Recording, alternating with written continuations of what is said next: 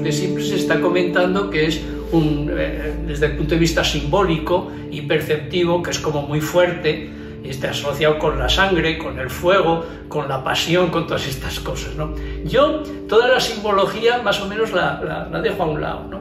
pero hay una, un hecho que a mí, o sea, no lo puedo olvidar. Yo, como te digo, estuve a punto de quedarme ciego en un accidente que tuve en coche, volviendo precisamente de París, en Francia, cuando tenía 20 años.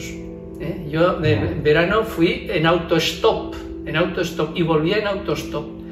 No sé quién llevaba el coche, pero nos pegamos un tortazo en una curva y yo sin cinturón de seguridad en aquella época, pues me tragué todos los cristales del parabrisas, ¿no? Y, bueno, pues eh, no perdí el conocimiento, salí fuera y de repente veo un círculo rojo enorme. Con un punto negro en medio. ¿eh? Yo ahora pienso que el rojo era mi retina absolutamente encharcada de sangre y el punto negro es el punto ciego de la percepción. ¿no? Ahí no hay receptores retinianos y no se veía nada, pero, pero pensé, bueno, lo pasé, fue, fue un momento terrible, muy trágico, ¿no?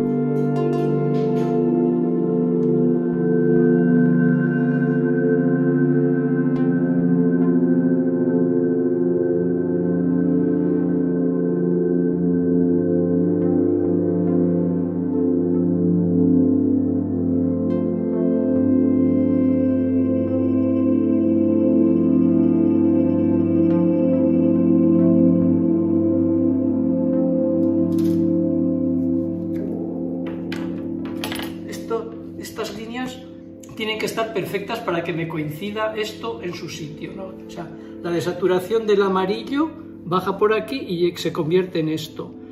Y esta, la, desaturación del naranja sobre esto también lo lleva aquí. Entonces, pues, pues se produce estas igualaciones y estas igualaciones. O sea, aquí es el naranja sobre sí mismo es igual al amarillo sobre esto. Y aquí el amarillo sobre sí mismo es igual al naranja sobre esto. Y bueno, aquí tengo que poner los, aquellos que seleccionaba ahí, los tengo que hacer unos redondelitos, igual que estos de aquí, igual que estos, para ponerlos en los vértices del triángulo.